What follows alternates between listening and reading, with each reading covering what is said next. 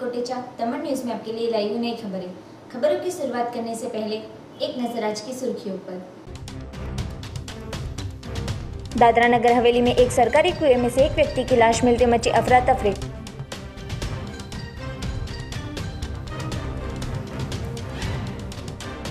वलसाड जिला समाहर्ता को तोड़िया जाति पर अभद्र टिप्पणी करने वाले के खिलाफ कार्यवाही की मांग करने का सौंपा गया ज्ञापन। दमन के चांपाबाड़ से लेकर सी फ़ेज़ तक के रोड का चौड़ीकरण करने की प्रक्रिया हुई शुरू।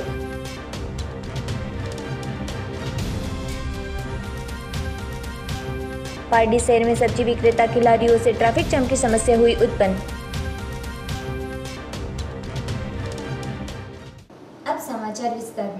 दादरा नगर हवेली के डोकमंडी गाँव स्थित प्रभु फलिया में एक सरकारी कुएँ में एक व्यक्ति की लाश तैरते दिखाई देते लोगों में मची हलचल। दादरा नगर हवेली के डोकमर्डी गाँव स्थित प्रभु फलिया में एक सरकारी कुआ है, जिसमें आज संबुजा की लाश तैरते हुए लोगों को दिखाई दी। लोगों ने तुरंत पिपरिया पुलिस पीएसआई राशि कुमार सिंह को जानकारी दी थी। जानकारी मिलते ही पीएसआई अपनी पुलिस दल के साथ डोकमर्डी के प्रभु फलिया में आ पहुँचे और देखा कि एक व्यक्ति की लाश कुएँ में तैर रही है, जिसका नाम स्थानिकों ने संबुजा बताया था। पुलिस ने दमकल जवानों की मदद से लाश को बाहर निकाला, जिसके बाद लाश को पोस्टमार्टम के लिए सिलवासा के श्री विनोबा भावे सिविल अस्पताल में भेजा गया। पुलिस की प्राथमिक जाँच में यह सामने आया कि मृतक संबुजा किशोर भाई नदीम भाई की चाली में रहता था और किसी कंपनी में काम करता था। संबुजा की लाश कुएँ में कैसे गिरी या उसने आत्महत्या की है या कोई संबुजा को मारकर फेंक गया है। उस दिशा में पुलिस ने जाँच शुरू की है। पारडी और उदवाड़ा से बाल मजदूरी और भिक्षावृत्ति में लिप्त 16 बच्चों को वाइल्ड ड्राइव मुहिम के तहत छुड़वाया गया। जिला में बाल सुरक्षा अंतर्गत जुवेनाइल जस्टिस एक्ट 2015 के तहत जिला बाल सुरक्षा एकम और चाइल्डलाइन एक हज़ार इक्यानवे कार्यरत है। तब आज रोज पारडी और उदवाड़ा के विस्तार में बच्चे भिक्षावृत्ति और बाल मजदूरी करते सामने आए। तब वलसाड सिटी के बाद अब जिला कलेक्टर आर आर रावल के दिशा निर्देश और सहकार से जिला में बाल मजदूरी और बाल भिक्षुक नाबूदी के लिए निरंतर ड्राइव का आयोजन किया है। दिनांक 22 नौ 2020 को मंगलवार के दिन जिला बाल सुरक्षा अधिकारी जस्मीन एम पंचाल और बाल सुरक्षा एकम कोऑर्डिनेटर प्रथम चाइल्ड एक हज़ार अठानवे, निकिता मेकवान और टीम और पुलिस विभाग के संकलन से आज ड्राइव पार्डी और उदवाड़ा में विभिन्न जगह पार्डी चार रस्ता, पार्डी मार्केट, पार्डी मोटा तालाब और उदवाड़ा दमनी छापा और मार्केट वगैरह विस्तार में से कुल 16 बच्चे, जिसमें 15 कुमार और एक कन्या। जिसमें तेरह बाल मजदूरी और तीन बाल भिक्षावृत्ति के लिए छोड़ने में आए हैं जिसको पुनः स्थापन के लिए आज रोज जिला बाल कल्याण समिति वलसाड के सामने पेश करने में आया है जिससे बच्चों का समाज में अच्छे तरीके से पुनः स्थापन हो सके આજરોજ તારીખ બાવીસ નવ બે હજાર વીસના દિવસે અ, વલસાડના પારડી અને ઉદવાડાની માર્કેટ એરિયા જે છે, તો એમાં આપણે બાળ ભિક્ષુક અને બાળ મજૂરી ઉપર ડ્રાઈવ કરવામાં આવી હતી, જેમાં આપણે સોળ બાળકો રેસ્ક્યુ કરવામાં આવેલા છે આજે. આપણે સતત છેલ્લા દસ દિવસથી કલેક્ટર સાહેબના માર્ગદર્શન હેઠળ ડ્રાઈવનું આયોજન કરી રહ્યા છે. એમાં હવે વલસાડ સિટી બાદ આપણે આજ રોજ પારડી અને ઉદવાડા ખાતે ડ્રાઈવ કરી છે અને આપણને સોળ જેટલા બાળકો મળી આવ્યા છે. એમાં ત્રણ ભિક્ષુકો છે અને તેર જેટલા બાળ મજૂરો છે. સિટીમાં આપણે કર્યું ત્યાર પછી હવે અલગ અલગ વિસ્તારમાં કરવાનું આપણું આયોજન છે. પણ હવે લોકોમાં એ જાગૃતતા લાવવાની જરૂર છે કે આપણે બાળ મજૂરને બાળ ભિક્ષુક નહીં રાખી શકીએ. કારણ કે દિવસે દિવસે બાળકો ઓછા થવા જોઈએ ડ્રાઈવ પછી એની જગ્યાએ બાળકો વધી રહ્યા છે. તો આપણે મેઇન કામ એ છે કે આ લોકોમાં જાગૃતિ આવે કે આપણે બાળ મજૂરને બાળ ભિક્ષુક નથી રાખવાના. એ જ કાર્યક્રમ આપણે આગળ વધારી રહ્યા છે. કારણ કે બીજી વાર જો આ લોકો ફરીથી મળશે, તો કલેક્ટર સાહેબના આદેશ હેઠળ આપણે એને જોઈનાર જસ્ટિસ એક્ટ મુજબ કેસ દાખલ કરશું. આજરોજ જે રીતે વલસાડ શહેરમાં ડ્રાઈવ લીધી હતી, બાળ ભિક્ષુકો અને બાળ મજૂરો માટેની, એ આજની ડીસીપીયુ એટલે કે સુરક્ષા એકમ અને ચાઇલ્ડ લાઇન ટીમે ઉદવાડા ખાતે અને પારડી ખાતે એક ડ્રાઈવ લીધી. એની અંદર તેર બાળ મજૂરો અને ત્રણ ભિક્ષુકો મળી આવ્યા છે.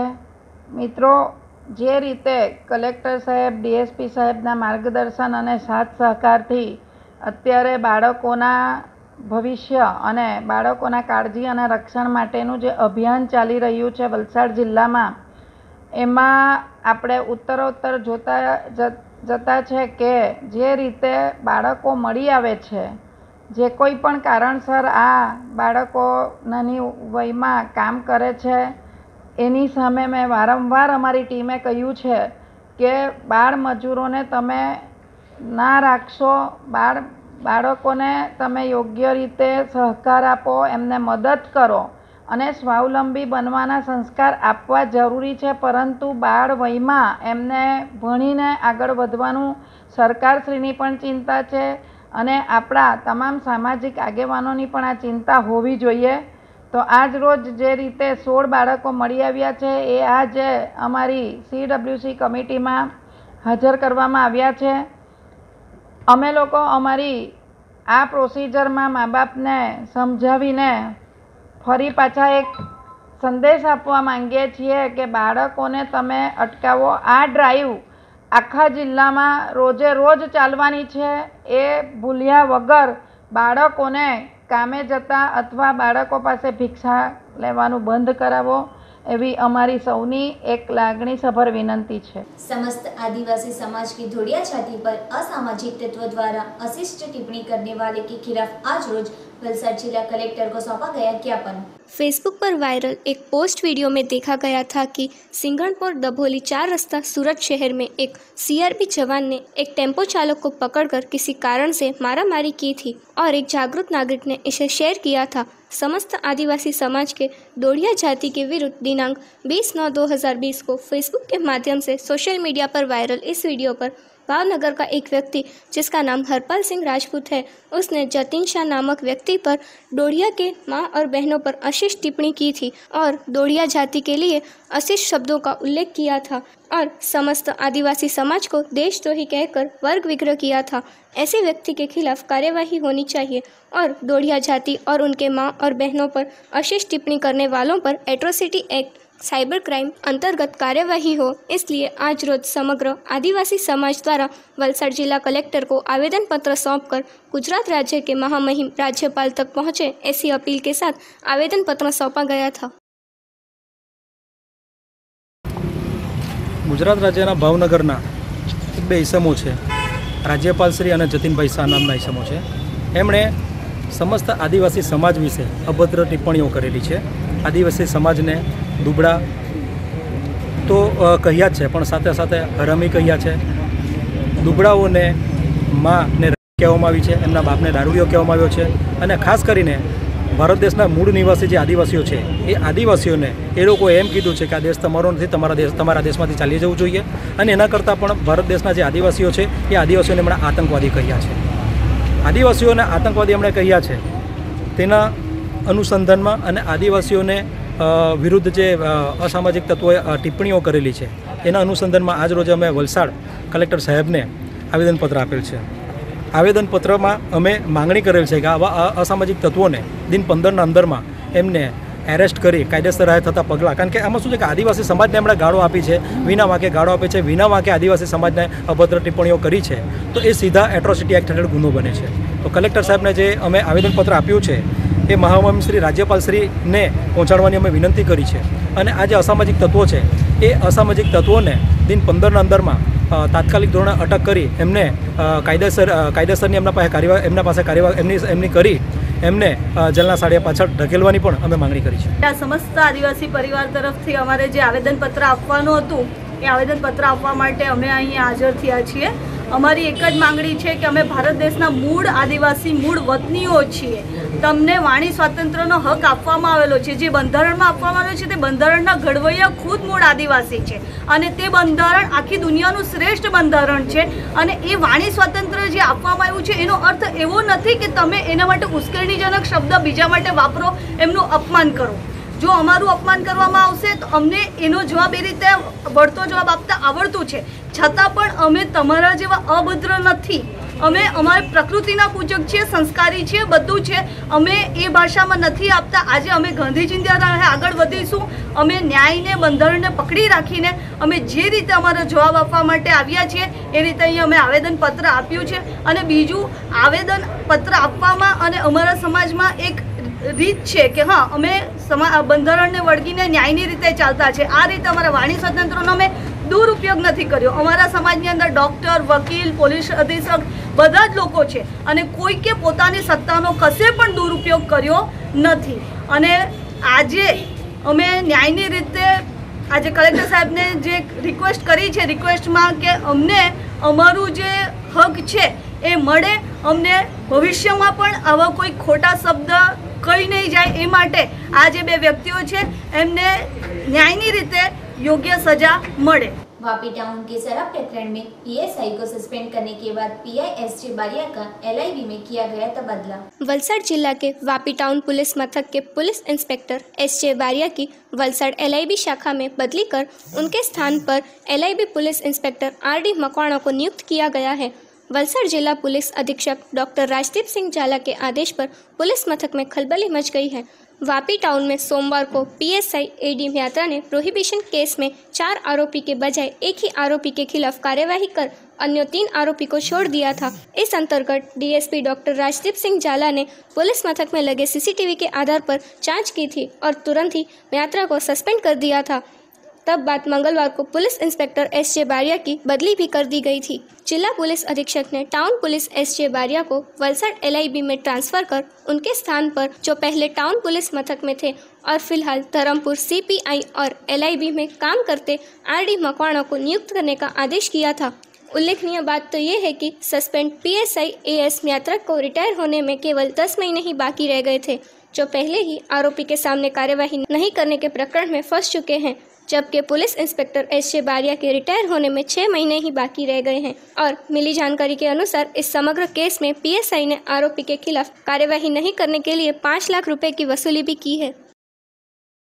संघ प्रदेश दमन में झापा बार से सी फ़ेज़ तक के रास्ते बड़े करने की प्रशासन की तैयारी। संघ प्रदेश दमन में जापा बार से लेकर सीफेस रोड बड़ा किया जाएगा जिसके लिए प्रशासन ने कामगिरी शुरू कर दी है। रोड के सेंटर से साढ़े सात मीटर तक मार्किंग की गई है। खारीवाड़ से बस स्टैंड तक के रोड बड़े कर दिए गए हैं, जिसके साथ धोबी तालाब रोड भी तैयार हो चुका है। बस स्टैंड से सीफेस रोड जाने के लिए सापा बाज़ार रोड पर हमेशा ट्रैफ़िक हो जाती है। इसलिए इस रोड को भी बड़ा किया जाएगा। जिला प्रशासन ने इसके लिए रोड के दोनों तरफ़ नाप लेने का शुरू कर दिया है।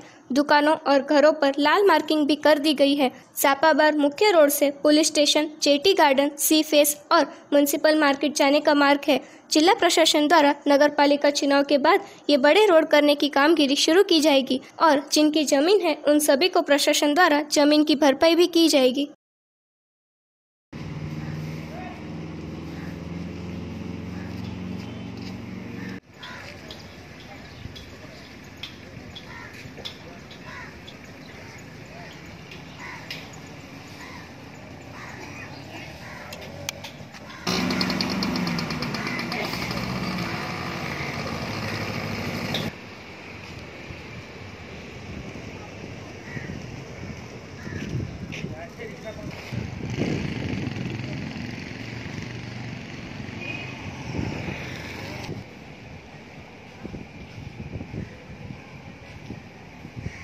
दमन न्यूज़ में वक्त है एक छोटे से ब्रेक का।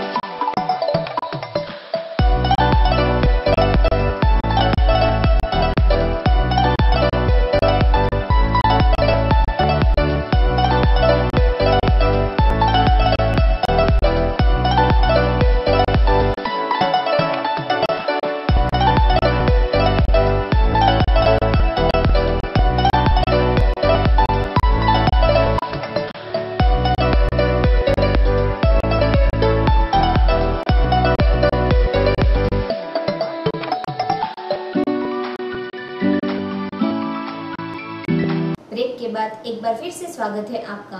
पार्टी चार रास्ता से मरी माता के मंदिर तक गैर कानूनी तरीके से सब्ज़ी की लारी की वजह से बड़ी ट्रैफ़िक की समस्या। ट्रैफ़िक में 10-15 मिनट गुजरने से वाहन चालक हुए परेशान। पारडी शहर में कोरोना महामारी में लॉकडाउन के खुलने के बाद से ही पारडी चार रास्ता से मरी माता के मंदिर तक गैर कानूनी तरीके से लगाई गई सब्ज़ी की लारी की वजह से ट्रैफ़िक की समस्या बढ़ती ही जा रही है। ट्रैफ़िक की वजह से यहाँ से आने जाने वाले फोर व्हीलर चालकों को 10 से 15 मिनट तक ट्रैफ़िक का सामना करना पड़ता है। तब पार्टी के नवनियुक्त अध्यक्ष हसुभाई राठौड़ और उपाध्यक्ष संगीताबेन पटेल इस समस्या को कैसे हल करेंगे ऐसे अनेक सवाल उठ रहे हैं। लारियों को तालाब के पास सब्ज़ी बेचने के लिए जगह दी गई थी, फिर भी सब्ज़ी बेचने वाले नियमों का पालन नहीं करते और अभी नए सब्ज़ी बेचने वाले पार्टी चार रास्ता से मरी माता के मंदिर तक सब्ज़ी, फ्रूट और अन्य लारी जगह जगह पर रखकर ट्रैफ़िक की समस्या को बढ़ा रहे हैं। इस अंतर्गत पालिका और पुलिस ध्यान दे और ट्रैफ़िक की समस्या को हल करें और साथ ही कोरोना के सरकारी नियम विशेषकर सोशल डिस्टेंसिंग और मास्क पहनने का पालन करवाएँ। जो वाहन चालक भी बिना मास्क के वाहन चलाते हैं, उनके पास से भी दंड वसूली करें और गैरकानूनी लारी लगाने की वजह से यहाँ जो ट्रैफ़िक होती है, उनके सामने भी कार्यवाही करें। फ़िलहाल वलसाड़ में वलसाड़ एसपी द्वारा ही इन सभी के सामने लाल आग कर रहे इस अतिक्रमण को दूर किया गया था। इसी तरह पारडी में भी यदि ये अतिक्रमण दूर हो जाए तो वाहन चालकों की भी परेशानी दूर हो जाएगी।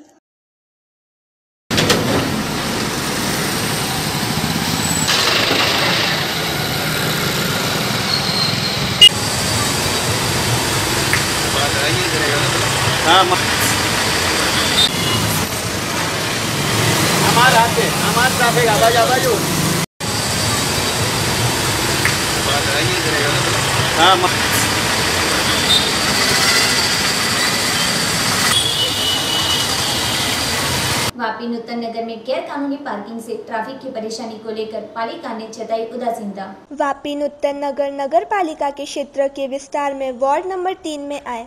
इस विस्तार के चुने गए प्रतिनिधि और पालिका अध्यक्ष की निष्क्रियता को लेकर ज़ाहिर सड़कों पर गैरकानूनी पार्किंग कर ट्रैफ़िक के बाधित होने की वजह से यहाँ गाड़ी खरीदने, बेचने का व्यापार पिछले कई वक्त से चल रहा है। और इतना ही नहीं, गुलजार ट्रैवल के पास गैरकानूनी रिक्शा स्टैंड रातों रात खड़ा कर दिया था। साथ ही ज़ाहिर सड़कों पर आवारा पशु की परेशानी भी बढ़ी है। तब इस ट्रैफ़िक की समस्या को लेकर स्थानिकों की परेशानी भी बढ़ी है। बार बार तंत्र को शिकायत करने के बावजूद परेशानी का हल नहीं निकला। तब पालिका अध्यक्ष और पुलिस अधिकारी और चुने गए प्रतिनिधि मिलकर परेशानी का हल निकाले ऐसी लोगों की मांगे उठ रही है। कपराड़ा तहसील के फणी गाँव की ग्राम पंचायत में संवेदना एक पहल द्वारा रक्तदान शिविर का आयोजन किया गया। कपराड़ा तहसील के फणी गाँव में ग्राम पंचायत में संवेदना एक पहल द्वारा रक्तदान शिविर का आयोजन करने में आया था, जिसमें कई युवाओं ने उत्साह से रक्तदान किया था। संवेदना एक पहल द्वारा ग्रामीण स्तर के युवाओं में रक्तदान के लिए जागरूकता लाने, कपराड़ा तहसील के आंतरिक गाँवों में रक्तदान शिविर का आयोजन किया जाता है, जिसमें से आज फणी गाँव ग्राम पंचायत हॉल में रक्तदान शिविर का आयोजन किया था, जिसमें किसी भी प्रकार के राजनीतिक कार्यक्रम के प्रभाव से दूर रहकर रक्तदान शिविर का कार्यक्रम आयोजित किया था, जो कि इस कार्यक्रम में नौ बॉटल यूनिट रक्त एकत्र करने में आया था। कार्यक्रम के दौरान वलसाड रक्तदान केंद्र के कर्मचारियों ने सेवा दी थी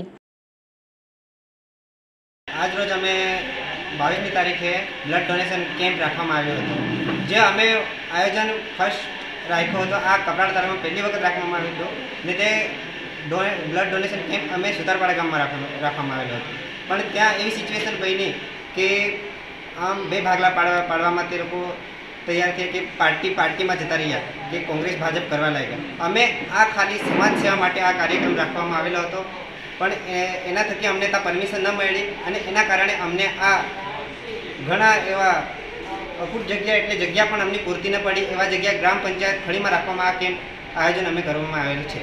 યુવાનો હજુ પણ થોડો ઉત્સાહ છે કે હજુ આમાં યુવાનોમાં યુવા પેઢી જરાક જાગૃત થાય અને આ બ્લડ ડોનેટ માટે થોડુંક સારું કામ કરે અને પોતાના પરિવાર માટે બ્લડ ડોનેટ કરવું એ ઘણું ઉપયોગી છે. એ યુવા પેઢી માટે જરાક સંદેશ જો પાઠવો. આ ફોર ગામ છે. અહીંયા અમે આયોજન કર્યું હતું. એમાં અમને ખૂબ જ તકલીફ પડી. તેમાં છે ને ગણેશભાઈના થકી ફોર ગામના યુવાન છે ગણેશભાઈ. વાઘમારે એમના થકી અમે પ્રોગ્રામનું આયોજન કર્યું હતું. અમારું ગ્રુપ છે સંવેદના પહેલ અમે પહેલ કરી છે. તો ટપલારા ધરમપુરના આદિવાસી એરિયામાં જે બ્લડની શોર્ટેજ પડે, એમના માટે એ લોકો ધક્કા ખાય, બ્લડ બેંકના. જરૂર પડે ત્યારે O positive B positive most ઓફલી રહેતું હોય એ લોકોને ત્યારે એ બ્લડ જ નથી પહોંચતું હોય તો કપરાડા ધરમપુરમાં અમે એક પહેલ કરી છે એના માટે એ અમારે દરેક યુવાનોને અપીલ છે કે એ કામમાં સહયોગ આપે તો જરૂર પડે ત્યારે એ લોકો એનો ઉપયોગ કરે संघ प्रदेश थ्री भाजपा महिला मोर्चा अध्यक्षा सिंपल टंडेल के नेतृत्व में महिला मोर्चा की टीम ने खानवेल जिले के लिए मुलाकात संघ प्रदेश दादरा नगर हवेली और दमन दीव भाजपा महिला मोर्चा की अध्यक्षा सिंपल टंडेल के नेतृत्व में महिला मोर्चा की टीम ने खानवेल ज़िले की मुलाकात ली। इसके पहले भाजपा महिला मोर्चा के लैंडमार्क स्थित कार्यालय पर माहेश्वरी महिला मंडल की महिलाओं से मुलाकात की, जिसके बाद उन्होंने भाजपा का दामन पकड़ा। प्रदेश भाजपा महिला मोर्चा अध्यक्षा सिंपल टंडेल ने इसके बाद खानवेल ज़िले के रुदाना पंचायत पर ज़िले की महिलाओं के साथ बैठक कर उनकी समस्याओं को जाना। महिलाओं की समस्या सुनने के बाद महिला मोर्चा की अध्यक्षा ने उनकी समस्या दूर करने हेतु आश्वासन दिया। इस बैठक में सौ से ज़्यादा महिलाएँ उपस्थित रही थी। खानवेल की इस बैठक में महिला मोर्चा अध्यक्षा सिंपल टंडेल के साथ महिला मोर्चा उपाध्यक्षा डॉक्टर प्रमिला जोशी, उपाध्याय महिला मोर्चा सेक्रेटरी गीताबेन कुमुदबेन खानवेल जिला की भाजपा सदस्य कल्पनाबेन सेवंतीबेन लताबेन जितेंद्रसिंह लाडकभाई लक्ष्मणभाई सुरेशभाई अन्य उपस्थित रहे अंत में मोटानंदा स्थित रानी दुर्गावंती बालिका छात्रावास की नब्बे लड़कियों को तथा वनवासी कल्याण आश्रम एकलव्य छात्रावास के 50 लड़कों को फ़ूड पैकेट वितरण किया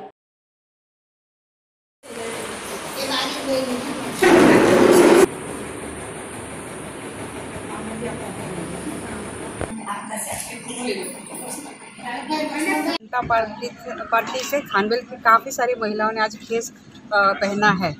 और यहाँ पे हमने चर्चा विचारणा की तो काफ़ी समस्या को हमें सुनने को मिला जिसमें पानी की समस्या है, ज़्यादातर लोगों लोगों की है, लाइट की है। और एक एक चीज़ जो है वो शौचालय। तो वो वो वो जो समस्या वो सबसे बड़ी समस्या मुझे दिखाई दे रही है कि आने वाले दिनों में हम हम, हमारे पहले यही रहेगी कि शौचालय जल्द से जल्द उनको उपलब्ध उपलब्ध कराए। जो वो कहाँ पे फ़ाइल अटकी है, क्या है, उसका पूरा निरीक्षण करेंगे। और दूसरी बार हम लोग जब भी आएँगे ये खानवेल क्षेत्र में तो मैं चाहूँगी कि हमारे प्रदेश अध्यक्ष और हमारी पूरी टीम के साथ हम लोग आएँगे और उस विस्तार में हम जितने लोगों की समस्या सुनी से उसका घर घर जाके हम लोग निरीक्षण करेंगे और समस्या का समाधान करने की कोशिश करेंगे। आज मुख्य कार्यक्रम को काफ़ी महिलाएँ जुड़ना चाहती थी। सिलवासा से महेश्वरी, महिला मंदिर ने भी आज भाजपा का दामन थामा है और खानल से भी है और नौरल हमने वहाँ पे भी किट वितरण की हुई है और वहाँ पे भी हमसे काफ़ी मिला है। प्रमुख को मैं धन्यवाद दूँगी कि वो हमारे साथ टीम वर्क कर रही है और कुछ भी हम बोलते हैं, मैडम, आज यहाँ पे प्रोग्राम है तो मैडम थकती नहीं है। अगर प्रमुख इतनी जिम्मेदार है तो हम भी पीछे क्यों हटे? हम भी इनके साथ टीम वर्क की तरह काम करेंगे और आगे जाते रहेंगे और इनका हमेशा सहयोग करेंगे। और महिला मोर्चा का ये पहला इतिहास इन्होंने रचा है, जहाँ पे डेढ़ सौ की संख्या में महिला एकत्रित हुई है और सभी ने बीजेपी का दामन थामा है और मॉर्निंग में भी महेश्वरी समाज ने भी बीजेपी का दामन थामा और रांदा में भी मैडम ने जो वितरण किया है, वहाँ पे सौ लड़कियाँ का अनाथ आश्रम है और पचास बच्चों का अनाथ आश्रम है। तो मैं महिला मैडम को बहुत बहुत धन्यवाद देती हूँ कि मैडम हमारे साथ ऐसे ही चलते रहे। तो हम भी इनके साथ, इनके सहयोग से आगे जाते रहेंगे और मेन मोटो हमारा यह है कि बीजेपी जो हमारा है, वो संगठन हमारा मज़बूत मिले। बस यही हम चाहते हैं कि सारी महिला एक साथ एकजुट होकर हम कार्य करें। खबरों की समाप्ति करने से पहले एक नज़र आज की सुर्खियों पर। दादरा नगर हवेली में एक सरकारी कुएँ में से एक व्यक्ति की लाश मिलते मची अफरा तफरी।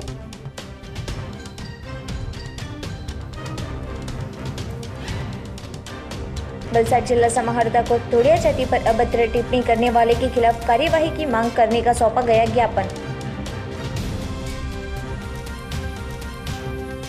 दमन के चांपाबार से लेकर सी फेस तक के रोड का चौड़ीकरण करने की प्रक्रिया हुई शुरू।